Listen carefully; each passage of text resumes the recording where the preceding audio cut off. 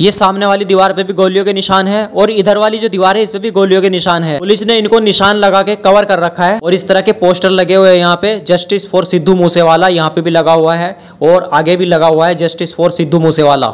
कैसे हो दोस्तों? दोस्तों, मैं पंजाब आ गया हूँ और आज मैं आपको वो जगह दिखाने वाला हूँ, जहाँ पंजाबी सिंगर सिद्धू मूसेवाला की गोली मार के हत्या कर दी गई थी। अभी मैं जवार का गाँव में हूँ, जो मानसा के पास में है, और इसी गाँव में वो हादसा हुआ था, जिससे पूरा देश शोक में पड़ गया था। दोस्तों, रात में दिल्ली से ट्रेन पकड़ के मैं मानसा पहुँच गया था, और अब सुबह सुबह इस जवार के गाँव में पहुँच गया हूँ। अभी सही से आठ भी नहीं बजे। दोस्तों, यहाँ के लोग पता नहीं क्यूँ मुझे अलग नज़र से देख रहे हैं, मैं समझ नहीं पा रहा। ये है पंजाब मानसा का जवार के गाँव। मूसेवाला कांड से ये गाँव काफ़ी चर्चा में आ गया था।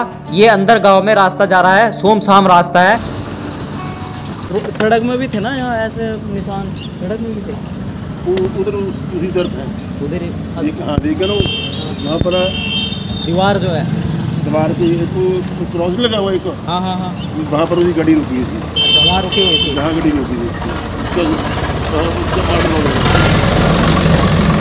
पहले होगी जिस पर वहाँ पर जाए गाड़ी अब तो वो अपनी मौसी के कहाँ जा रहे थे? मौसी के घर हाँ मौसी का पिंड हाँ आगे वाला है दो तीन किलोमीटर में।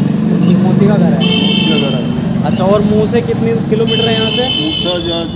दस नौ नौ दस किलोमीटर है। नौ दस किलोमीटर। दोस्तों ये वही रोड है जहाँ का वो सीसीटीवी वीडियो वायरल हुआ था जिसमें सिद्धू पाजी की गाड़ी जाते हुए दिखाई दी थी और जो अटैक करने वाले थे उनकी गाड़ियाँ भी इसी कैमरे में कैद हुई थी। और यहाँ से आगे से दिखाता हूँ यहाँ से गाड़ी ने लेफ़्ट लिया था तो कैमरे में सिर्फ़ यहीं तक की वीडियो थी।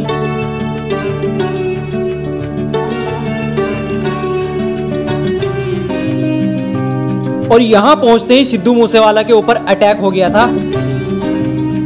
दोस्तों, ये मंदिर की दीवार है और इसमें सिद्धू पाजी के ये फ़ोटो लगे हुए हैं और यहाँ पे ये गोलियों के निशान है। देख सकते हो आप, दो गोलियों के निशान है यहाँ पे। गाँव के हर खंबे पे सिद्धू पाजी के पोस्टर लगे हुए हैं और इसी खंबे के सामने ये दीवार है। दोस्तों, इस दीवार में ये दो गोली के निशान है और निशान के ऊपर एक और निशान लगा के इस पूरे एरिया को फ्रेमिंग करके कवर कर रखा है और नीचे की तरफ़ भी एक ये निशान है और यहाँ पे ये डेट लिखी हुई है और ऊपर की तरफ़ ये पोस्टर लगे हुए हैं सिद्धू पाजी के और नीचे की तरफ़ भी सिद्धू पाजी के ये फ़ोटो लगे हुए हैं। चार अलग अलग फ़ोटो है। दोस्तों, ये वो रोड है जहाँ पे वो हादसा हुआ था और ये वो दीवार है जहाँ पे वो गोलियाँ आके लगी थी। यहाँ पे पाजी के पोस्टर लगे हुए हैं और गोलियों के निशान को पुलिस ने कैसे कवर कर रखा है, आप देख सकते हो। और नीचे की तरफ़ भी एक ये निशान है। तो ये वाला जो गोली का निशान है, ये पिलर में है। ये देख सकते हो, ऊपर की तरफ़ ये पिलर है और ये जो निशान है, ये ईट में है, ये बिल्कुल पार है मंदिर के अंदर तक। दोस्तों, क्या खौफनाक मंजर होगा वो। और ये पंजाबी में नीचे की तरफ़ कुछ लिखा हुआ है, यहाँ पे डेट ऑफ़ बर्थ और डेट ऑफ़ डेथ लिखी हुई है। ये 11 छह उन्नीस को इनका जन्म हुआ था और 20 पाँच 2022 को वो हादसा हुआ था, जिससे पूरा देश सदमे में आ गया था। अब मैं आपको एक और दीवार दिखाता हूँ, उस पर भी गोलियों के निशान है। देखिए दोस्तों, इस दीवार पे भी बहुत सारे गोलियों के निशान है और पुलिस ने यहाँ पे निशान के ऊपर निशान लगा रखे है। ये देख सकते हो, दो निशान यहाँ पर है, एक ये है, एक ये है, एक ये है, एक वो है और उधर भी एक है। करीब सात निशान है यहाँ पे ये गोलियों के। इनको पहले व्हाइट कलर से कवर कर रखा था, बाद में इनके ऊपर रेड भी कलर लगा दिया है। ये एक घर की दीवार है और वो दूसरी वाली मंदिर की दीवार थी। दोस्तों, ये जो गोली के निशान है ना, यहाँ के लोकल लोग इन निशान को देख देख के 29 मई को याद करते हैं और ये गोलियों के निशान आज भी वैसे के वैसे ही है।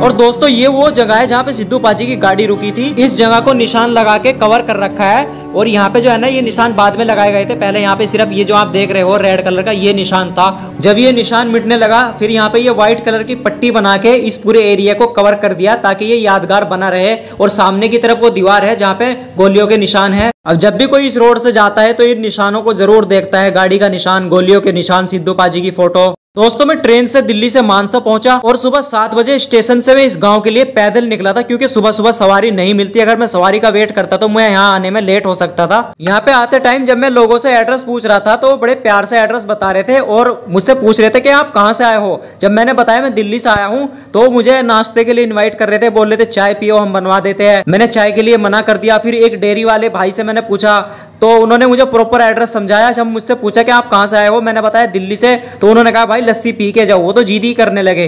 तो मैंने लस्सी भी नहीं पी क्योंकि लेट हो रहा था इस वजह से।